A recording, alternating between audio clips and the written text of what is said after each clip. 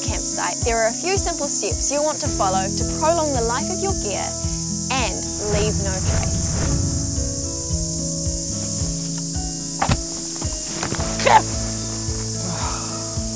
The first thing you should do is get the whole group involved. It's so much easier when everybody helps out. That's right. Here's a few extra tips to help you out.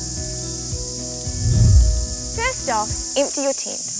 You'll find it very difficult to pack a tent away if you left your torch in the tent pocket. It could damage the fabric and you'll want it later. Shake the fly well. You want to ensure that the tent is dry before packing it away.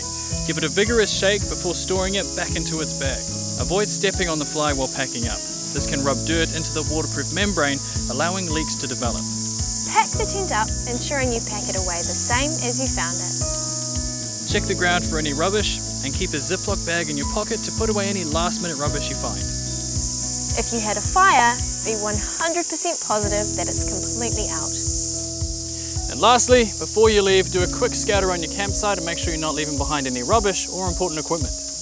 Once you get home, check your gear and replace any consumables you may have used. And of course, make sure your tent is completely dry before storing it for long periods of time.